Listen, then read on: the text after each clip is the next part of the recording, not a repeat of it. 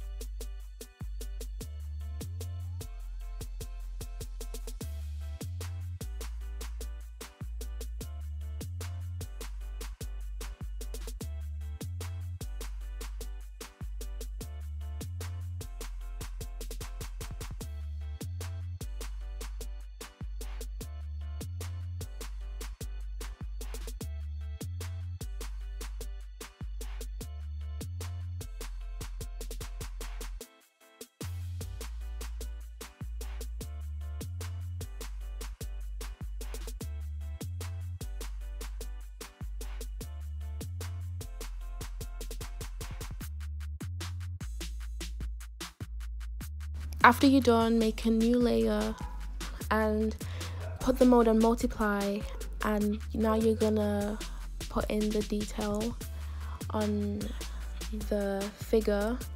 So you want to make the other layer disappear so you can see the detail on your actual avi. So make sure your avi looks like that with less clothes on. Or like a tube top so you can see it well. And you don't need to wear a necklace obviously. Um, I just remembered and thought about that when I was doing it. But um, I'm kind of skilled more so it didn't really like bother me much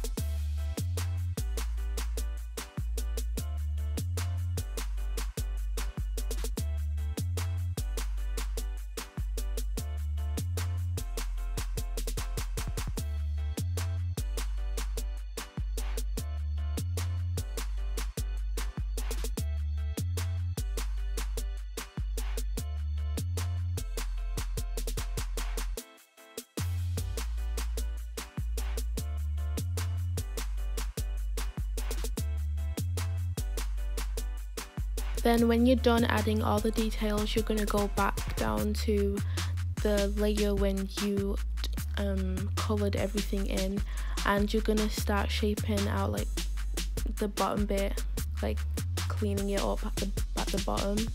Make sure it looks straight and not slanted like mine was at first